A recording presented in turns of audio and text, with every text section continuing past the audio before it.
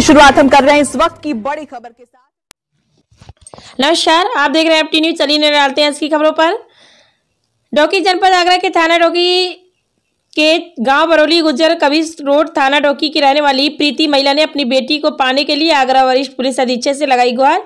जानकारी के अनुसार प्रीति की विधवा माँ पूजा, पत्नी स्वर्गीय कालीचरण का कहना है कि अपनी बेटी प्रीति की शादी बरौली गुजर थाना डोकी निवासी मानवेंद्र पुत्र मान सिंह के साथ लगभग पंद्रह साल पूर्व तय की थी, लेकिन मानवेंद्र सिंह पुत्र मान सिंह मास्टर मेरी बेटी प्रीति को शादी के कुछ वर्ष बाद महिला प्रीति के पति ने आए दिन मारना पीटना और दहेज के लिए प्रताड़ित करना का शुरू कर दिया, जिससे महिला प्रीति तंग आ चुकी थी। इस बात की तहरीर थाना डोकी की कभी चौकी पर तहरीर दी, लेकिन थाना डोकी की पुलिस ने मेरी बेटी की तहरीर के आधार पर कोई कार्रवाई थाना डोकी पुलिस ने नहीं की। और प्रीति ने अपनी रिश्तेदारी से एक बेटी भी गोद ले रखी थी।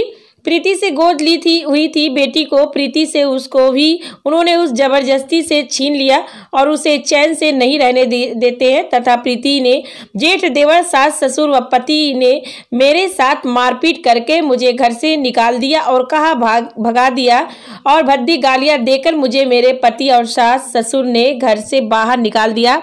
यह बात काफ़ी दिनों तक चलता रहा, लेकिन मैं ससुराल वालों से तंग आ चुकी थी और मैंने मायके में जाकर अपनी विधवा माँ से अपनी, आप बीती बताई और माँ के घर पर रहने लगी। जैसे ही प्रीति की माँ विधवा को, जब प्रीति के बारे में हुई वारदात की मालूम पड़ी तो प्रीति ने दरिंदों के खिलाफ और दहेज लोभियों व प्रीति की बेटी को छीन लेने के संबंध में ससुराल वालों के खिलाफ थाना डौकी में लिखित तहरीर दी, लेकिन थाना डौकी ने कोई सुनवाई नहीं की।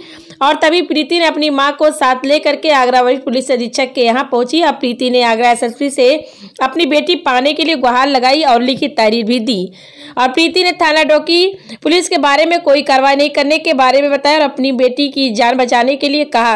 अब देखना यह होगा कि थाना डोकी पुलिस प्रीति को उसकी बेटी का हक दिला पाएगी कि नहीं या फिर उनके खिलाफ कानूनी कार्रवाई की जाएगी कि नहीं।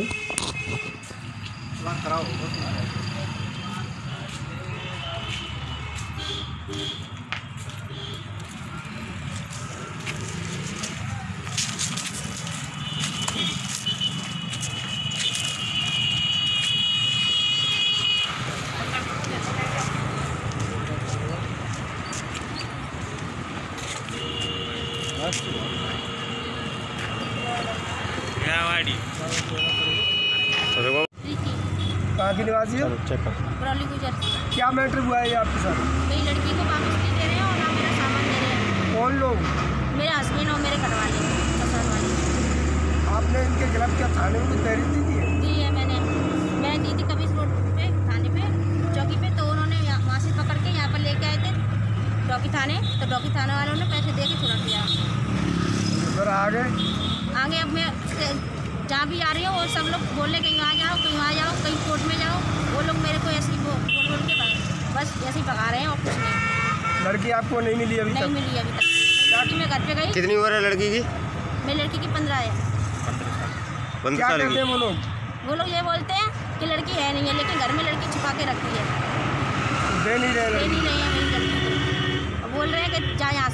तेरा यहाँ पे कुछ भी नहीं